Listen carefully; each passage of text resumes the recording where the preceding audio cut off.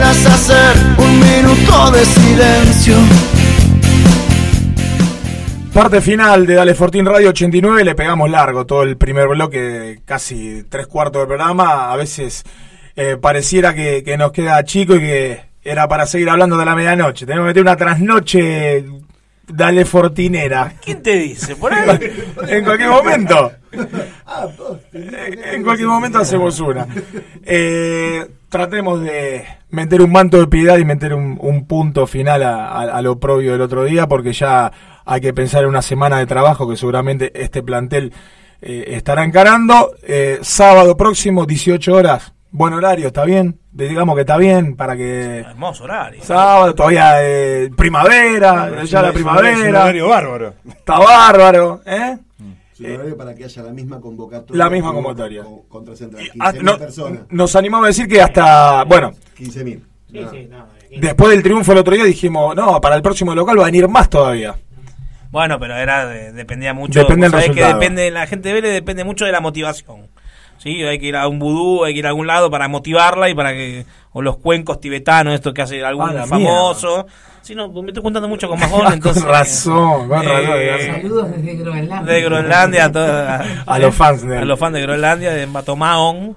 Eh, Lindo horario, lindo horario li- para que la gente se pueda hacer. Lindo horario, eh, es la famosa seguidilla de los cinco partidos que hablamos todos, que nos mataron todos. A Bueno, las 4 será más o menos el recibimiento. No, no, la, la ironía, la ironía. ¿A qué hora? Recibimiento, no sé, Ah. Nico de la subcomisión con hincha. comisión directiva. Hay que hablar con comisión directiva. Bueno, eh, en la previa nos toca. Bueno, ayer lo, eh, se fue silbado el equipo que nos va a enfrentar. Este, lo- ya, ya lo cuestionaba el técnico con tres partidos. Sí, es sí. algo que a nosotros no nos compete. Sí, pero sabes que no nos compete, pero hay algo que sí eh, A ver. lo tenemos que tocar. Eh, siempre se dice que los técnicos, porque estamos hablando de la continuidad de Bacedas que pende de un hilo, está claro, ¿no? Cada uno tiene su postura.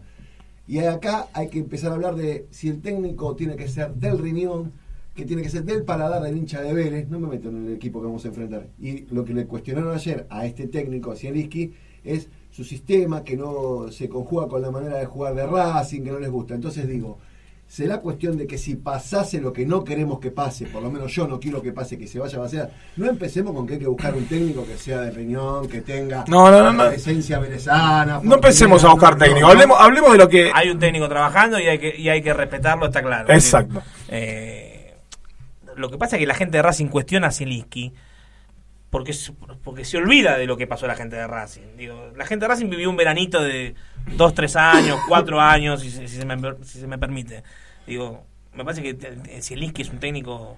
Va a haber, eh, va a haber videos. No sé si ideal, pero Va- sí un técnico... me imagino que Respetable. estarán viendo videos de cómo juega, a ver si eh, eh, se arma el equipo en condición de, en, perdón, en relación al rival o no, porque otra vez no vamos a, a cometer el mismo error de que jueguen los dos cinco juntos o tres cinco juntos sin un carrilero. Empezá desde atrás, Claro. como te dijo Nico, empezá con los dos centrales, porque si, No. si, Ya tenés uno baja- bajo, que es Gianetti, que no va. Vuelve Cubero. ¿Y amor? Bueno, y Amor, Como jugar Claro, ¿y amor? ¿Por qué no juega amor? lo que nos gustaría a nosotros, o cada uno tiene. bueno, Sí, sí, no. Yo pondré amor. Bueno, en la pretemporada jugaron Cubero y Nasuti como centrales. eh, sí, ¿y vos qué decís? Que el técnico, si está Cubero, lo va a poner a Cubero. Pensando en lo que piensa el técnico, valga la Ah, pero que en redundancia. la pretemporada también paró equipos que después nunca jugaron eh, por los puntos, ¿no? Y hay que ver si mantiene a, a Grillo o puede jugar Tripicho otra vez. En la pretemporada, Yo- ¿quién jugaba de cuatro? Tripicho. Y jugaba de tres. Habla en el micrófono, que después te Jugaba quejas. de tres, Caire. Caire. Y bueno, entonces, si- o sea, no te me remitas a la pretemporada por un ejemplo solo. Dani en la pretemporada hizo todo lo que no está haciendo ahora. ¿Entendés? En la pretemporada jugaba con un delantero, con un solo delantero. Ahora juega con, o con Romero y Pavone o con eh, Romero, Mm. Pavone, Barcos, cuando ya se, se le queman las naves. Entonces, a ver, ¿por qué tenemos que decir, y entender, yo te respeto que vos digas, en la pretemporada hizo tal cosa? ¿Por qué no juega el que mejor está en la semana y no el que, el que tenga una aportación de apellido, trayectoria o, a o que le caiga bien? Coincido totalmente. Que juegue el que, el que mejor está así en la semana. Amor, se para mejor que Cubero o mejor que Grillo de Central, porque por ahí termina poniéndolo de acá y de cuatro, otro y pique otro y dice, bueno, ven, Fausto, vení, vas a jugar vos de Central, esta- aunque sea Claro. un parado, un parado con Nasuti y Grillo. ¿Por qué no puede jugar que esté mejor? En vez de decir, tenemos que respetar a la trayectoria. ¿Por qué no puede jugar? Tiene que jugar Somoza porque sí. En esta mesa está fuera de discusión lo que está No, planteando. Estamos no, todos no, coincidiendo, ver, ¿sí? ah, general. Eh, después, los dos delanteros te los va a mantener, sea quien sea. Pero el programa no lo hacemos para nuestra mesa, sino que Sí. lo hacemos para que la gente Está que está escuchando de otro lado recapacite Y- y sepa lo que está pasando. Los dos delanteros te lo va a mantener. Eh, El eterno problema es el mediocampo. Cantero sigue sin volver, ¿no? No se sabe. No sabemos. Empezó a entrenar eh, a la par del plantel. No se sabe. Entonces, Ahora, dale, dale. Perdón, perdón. A ver.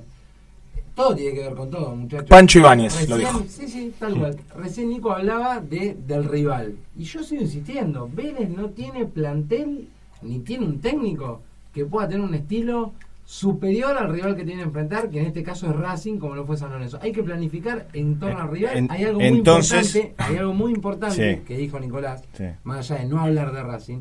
Zielinski, como es un lobo de mil batallas, un tipo que, que ha hecho muy buenas campañas con Belgrano. ¿Cuántos campeonatos hay?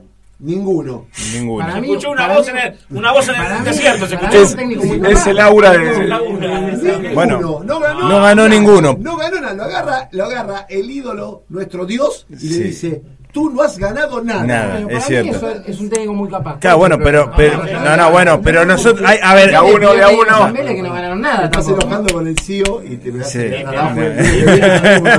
No, No, no. A ver, que, que no haya ganado, que no haya ganado nada, no quita de que sea un tipo que le dio su sello a Belgrano, por ejemplo, durante, muchos años. Es que no puede perder. No, obvio. Va a venir a no perder. Sí, obvio, pero Entonces el esquema de Racing para mí va a ser conservador en este caso. sí, cuando hablamos de la seguidilla brava de partidos, yo creo que tenemos que empezar a hablar de que la seguidilla brava de partidos de Vélez es de acá a la fecha número bien. 30. Ah, Está claro. Que, que ahora en suerte nos toque Racing, River, San Lorenzo.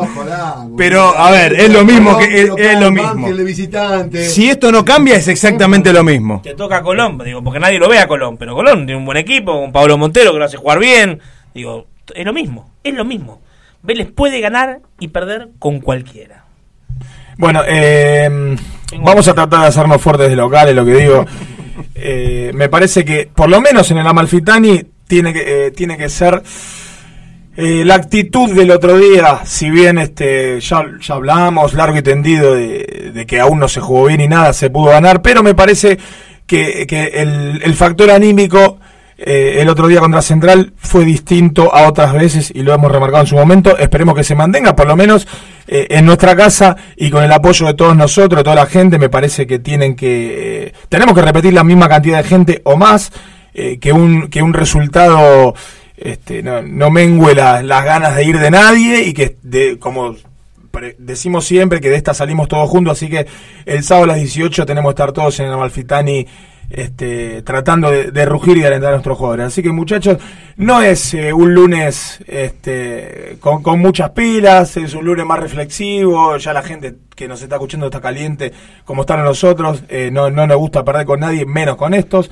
Así que... Pero, pero es un lunes ideal para ir a dónde. ¿A dónde vamos, Nico? Vamos a la oficina Restobar, que queda en López Vega 990 y nos llena. de Saquemos, saquémonos Qué toda la mufa. Está todo saque- está saquémonos toda la mufa. Vamos a la oficina. ¿Qué comieron hoy? Empanada, ¿qué vamos a comer? Y un saludo de empanada, por favor. ¿Te acuerdas del hombre empanada que estaba en los semáforos? Añolotti, ¿no era hoy? Bueno, gracias muchachos, eh, No, gracias, gracias, gracias por todo. Salud, salud a tu gente, que después preguntan por vos. A, mi gente que me, que me quiere mucho, que me ama. Te vas a otro programa ahora. Vamos, sí, sí, si no me van a echar a la mierda. Me van a matar, mintiendo. me van a matar. Eh, Héctor, Miércoles, reunión de la subcomisión del hincha, 19.30 Ah, por horas, favor, ¿eh? por favor, ¿Sí? decilo, decilo. A- Abajo de la plateita norte, 19.30 Reunión horas. abierta. Reunión abierta de la subcomisión del hincha, 21 a 30. 19.30. La- pero para el próximo sábado se diagrama ahí también. ¿eh? Vamos a tratar. Héctor, por favor, nunca nos faltes. Bueno, gracias. Nunca nos faltes. Eh, Pato, ¿estás caliente como un suplente? ¿Ya estás más tranquilo? No, estoy más tranquilo, es la terapia. lo- Aparte está no, con la no, bufanda acá adentro. Bueno, eh, gracias a, bueno, a Nico Godoy, que está el dueño de todo esto, que está en los controles, hace todo, nos, nos trae la cerveza, hace todo. Eh, gracias por estar del otro lado en este programa 89 de Dale Fortín Radio y esperemos el lunes que viene estar con mejores ánimos, mejores ínfulas y todos alentando y esperando ganar al Fortinero. Gracias por todo, será hasta el lunes que viene.